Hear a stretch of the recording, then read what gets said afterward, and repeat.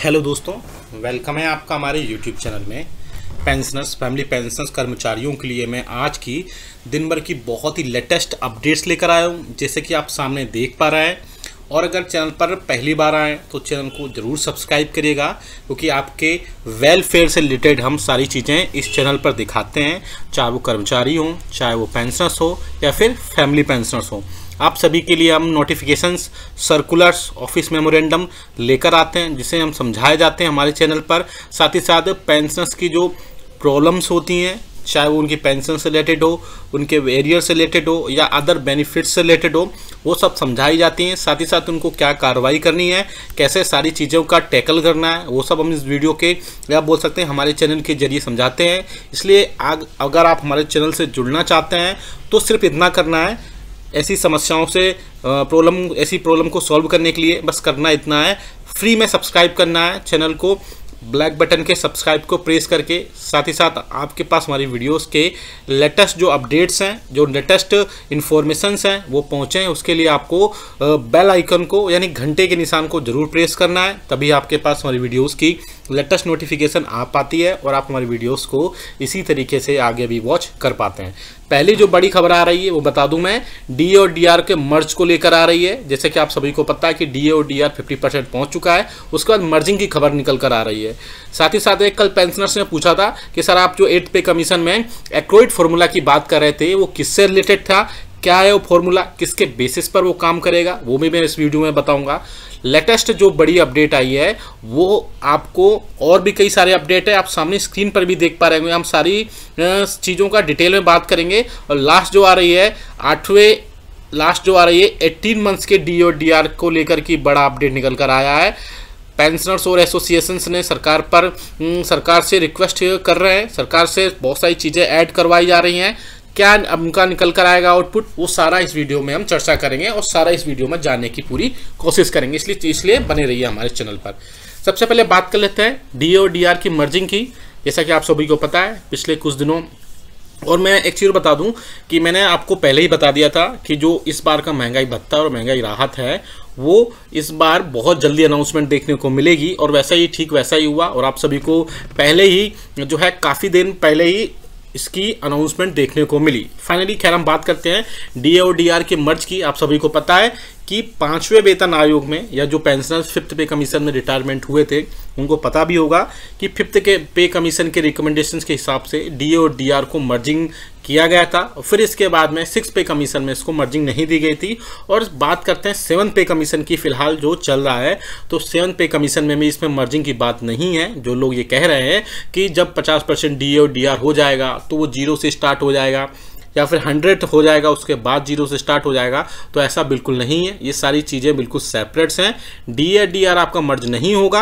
आप सपोज़ करिए बहुत सारे, अभी आप देखेंगे पे कमीशन बहुत सारे थे, जिनमें हंड्रेड के ऊपर भी डी ए और डी आर निकल गया है। सपोज़ अभी सिक्स पे कमीशन में अगर सपोज़ करते हैं कि हंड्रेड से ऊपर पे कमीशन हंड्रेड से ऊपर जो है डी ए, डी आर चल रहा है तो ये ऐसे ही चलता रहेगा। सपोज़ करिए आपकी बेसिक पेंशन अगर चालीस हज़ार रुपये या तीस हज़ार रुपये है तो अगर ये hundred percent D A, D R हो जाता है, यानी कि अगर आपकी बेसिक पेंशन चालीस हज़ार रुपए है तो चालीस हज़ार ही आपको डी आर मिलेगा। उसमें कोई भी मर्जिंग जैसी सुविधा अभी सेवन पे कमीशन में नहीं गई है, लेकिन हाँ अलग इसमें आगे जाके कुछ रिकमेंडेशंस होते हैं, कुछ चेंजेस होते हैं तो उसमें कहा नहीं जा सकता। और अगर ऐसा होता है तो मर्जिंग करने से पेंशनर्स को बहुत ज़्यादा फ़ायदा हो सकता है, कर्मचारियों को भी इसका फ़ायदा मिलेगा, क्योंकि इसके बाद उनकी बेसिक पेंशन एट्टी हज़ार हो जाएगी, यानी चालीस हज़ार बेसिक प्लस चालीस हज़ार डी आर तो मर्जिंग करने से हाँ कर्मचारियों पेंशन और फैमिली पेंशन को बहुत ज़्यादा फ़ायदा मिलेगा, लेकिन सेवन सी में जो है, इस टाइप से मर्जिंग की कोई भी सुविधा प्रोवाइड नहीं कराई गई है।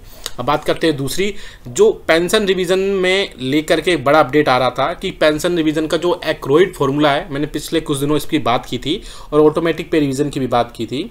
तो पेंशनर्स कमेंट कर रहे थे कि इनमें से कौन सा बेस्ट है, मैंने उनसे पूछा था। तो उन्होंने पूछा था कि, सर एक्रोइड फॉर्मूला क्या है? ये हमें जानना है। तो एक्रोइड फॉर्मूला थोड़ा सा मैं बता दूँ कि क्या हो सकता है एक्रोइड फॉर्मूला वो हम लेकर आए हैं पूरा। आप देख सकते हैं सामने स्क्रीन पर भी कि केंद्रीय कर्मचारियों की सैलरी और पेंशनर्स की पेंशन में इजाफे को लेकर के एक नए फॉर्मूले की चर्चा है आजकल और वो एक्रोइड फॉर्मूला है। इससे फॉर्मूले से कर्मचारियों की सैलरी और पेंशन की बेसिक पेंशन में महँगाई कॉस्ट ऑफ़ लिविंग और कर्मचारी की परफॉर्मेंस से जोड़ा जाएगा। इन सब चीज़ों के आकलन के बाद ही सैलरी में इजाफा होगा। इससे सभी वर्ग के कर्मचारियों को फ़ायदा होगा।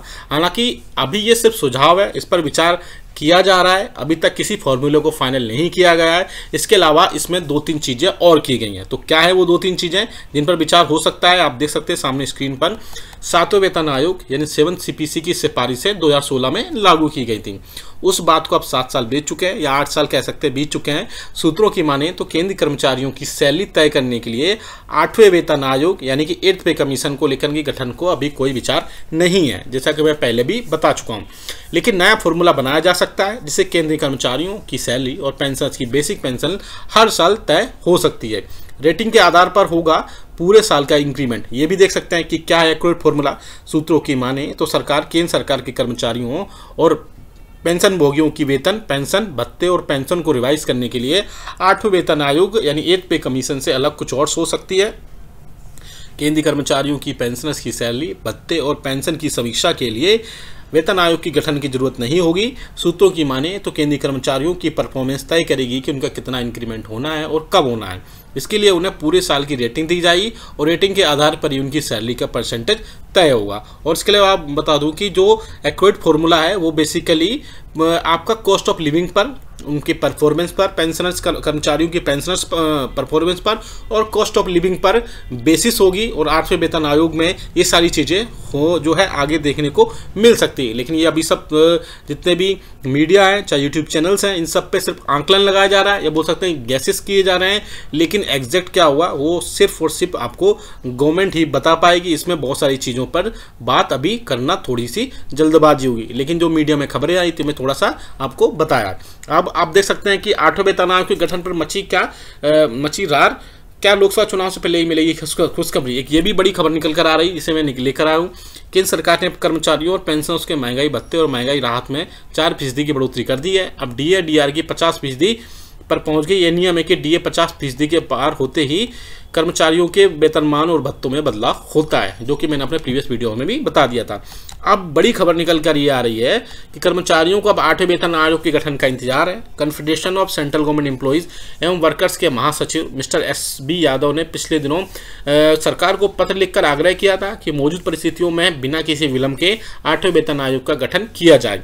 Indian railway technical supervisor association IRTSA ने भी केंद्रीय वित्त मंत्री से आग्रह किया है कि केंद्र सरकार को बिना किसी देरी के आठवें वेतन आयोग का गठन करना चाहिए। यानी कि अब गवर्नमेंट पर गवर्नमेंट से पूछा जा रहा है कि गवर्नमेंट कब तक इसका करेगी जो है गठन। अब यह सरकार कर नहीं नहीं कर रही है विचार। संसद के पिछले सत्र के दौरान सरकार ने आठवें वेतन आयोग के गठन को लेकर दो टूक जवाब दे दिया था। छः फरवरी को राज्यसभा में सांसद ने आठवें वेतन आयोग के गठन को लेकर सवाल पूछा था। वित्त राज्य मंत्री मिस्टर पंकज चौधरी ने इस सवाल के जवाब में कहा, सरकार के पास इस प्रकार का अभी कोई भी प्रस्ताव विचाराधीन नहीं है, जैसे मैंने बताया भी। हालाँकि उन्होंने वेतन आयोग के गठन को लेकर पांचवी बड़ी अर्थव्यवस्था और तीस वर्ष से महँगाई का सामना, यह तर्क भी दिया। आगे सरकार द्वारा सातवें वेतन आयोग के केंद्रीय वेतन आयोग के पैरा वन पर विचार न करने और उसे अनुमोदित न किए जाने के फाइलों का दर्ज कारण है। क्या इस तथ्य के कारण है कि सरकार वेतन आयोग संबंधी खर्च वहन करने की स्थिति में नहीं है? क्या इसलिए आठवें वेतन आयोग के गठन का कोई प्रस्ताव विचाराधीन नहीं है? यदि इससे संबंधित ब्यौरा क्या है? तो ये सारी चीज़ें उसमें पूछी गई थी और इसमें जवाब में बोला गया था। मिस्टर पंकज चौधरी ने जवाब में बोला था कि सातवें वेतन आयोग के आधार पर वेतन और भत्तों में संशोधन को अनुमान, अनुमोदन देते समय केंद्रीय मंत्रिमंडल ने इस मामले पर भी कोई विचार नहीं किया है और आगे का आगे सरकार के पास इस प्रकार का कोई भी प्रस्ताव नहीं है। जैसा कि मैं अपने सारी प्रीवियस वीडियोस में सारी बातें आपको बताता रहा। हूँ इसके अलावा आप देख सकते हैं कि इसमें एक, एक, एक और पैराग्राफ बहुत ही इंपॉर्टेंट है जिसमें ये सारी चीज़ें हो सकती हैं। आप देख सकते हैं दो करोड़ एवं दो करोड़ कर्मचारियों और पेंशनर्स की बात करें तो स्टाफ साइट की राष्ट्रीय परिषद जेसीएम और अखिल भारतीय रक्षा रक्षा कर्मचारी महासंघ के महासचिव श्री श्री कुमार का कहना है कि कर्मचारियों का डीए का आंकड़ा पचास फ़ीसदी हो चुका है। अब केंद्र सरकार के समक्ष दमगार समक्ष आठवें वेतन आयोग के गठन का प्रस्ताव रखा जाएगा। अखिल भारतीय राज्य सरकारी कर्मचारी महासंघ के अध्यक्ष सुभाष लांबा के मुताबिक आठवें वेतन आयोग का गठन न होने से देश भर में दो करोड़ सरकारी कर्मचारियों, पेंशनर्स इससे पेंशनर्स की भारी नाराज़गी देखी जा सकती है। कर्मचारी संगठनों ने केंद्र सरकार द्वारा आठवें वेतन आयोग को गठित न करने को लेकर अत्यंत दुर्भाग्यपूर्ण बताया है। भारत पेंशन समाज ने भी आठवें वेतन आयोग की गठन की मांग उठाई है। तो आप देख सकते हैं कि अलग अलग पेंशन और यूनियंस हैं। वो लगातार सरकार से इसके रिगार्डिंग बातचीत कर रहे हैं और सरकार को इससे पहले भी कर्मचारियों और पेंशनर्स को लेकर के कई सारे इसमें इसमें इश्यूज़ हैं, कोई सारे मुद्दे जो हैं, वो लेकर सरकार के सामने आते हैं। लेकिन आगे आने वाले दिनों में जब देखना होगा